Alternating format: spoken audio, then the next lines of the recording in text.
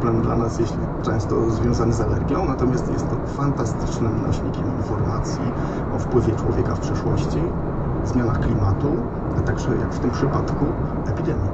E, jak patrzę na mapę, którą dołączyliście do swojej pracy, to owszem, czarna śmierć dotknęła sporo obszarów e, w Europie, e, współczesnej Polski również.